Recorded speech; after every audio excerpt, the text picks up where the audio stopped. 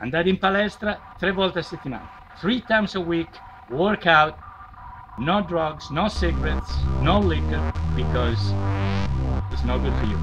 Trust me. Workout three times a week. Very good. Stay fit so you stay in shape.